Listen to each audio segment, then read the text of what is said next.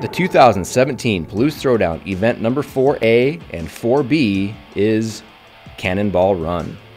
This event is broken up into two workouts. The first is a partner sprint relay. At the call of 3, 2, 1, go, partner A will run down and back across the field, making sure to run around the marker on the far side. Upon their return, partner A will cross the start line, tag partner B, and partner B will run the same distance.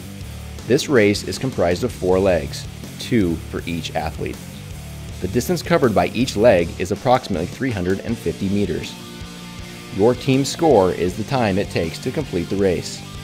Workout 4A is worth 75 points and has a 7 minute time cap. At the completion of 7 minutes, teams will have 1 minute to transition to the next scored portion of the workout.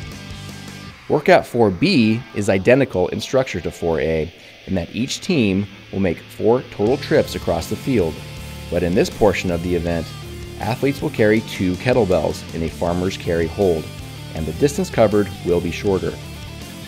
Kettlebell weight for men is 53 pounds and 35 pounds for women. The total distance for each leg of the workout is approximately 200 meters. Your team's score will be the time it takes to complete the race. Workout 4B is worth 75 points and has a 9 minute time cap.